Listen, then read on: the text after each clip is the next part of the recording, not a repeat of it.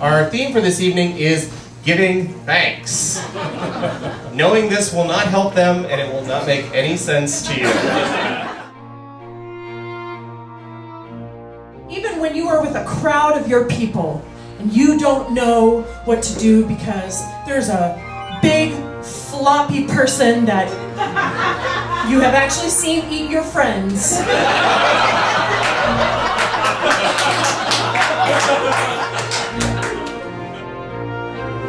Sometimes life can be really confusing. You're looking at sparkly vampires. You're thinking, I need bacon. Bacon, vampires, bacon, vampires. What am I going to do? I'm going to throw myself out the window. See how much I sparkle. Don't do that! What you, the audience, are experiencing looking at me is called a reluctant buyer. Much like we have a duck inside us, we also have a sea turtle. In this sea... Okay, just sure. Think about it, and you are.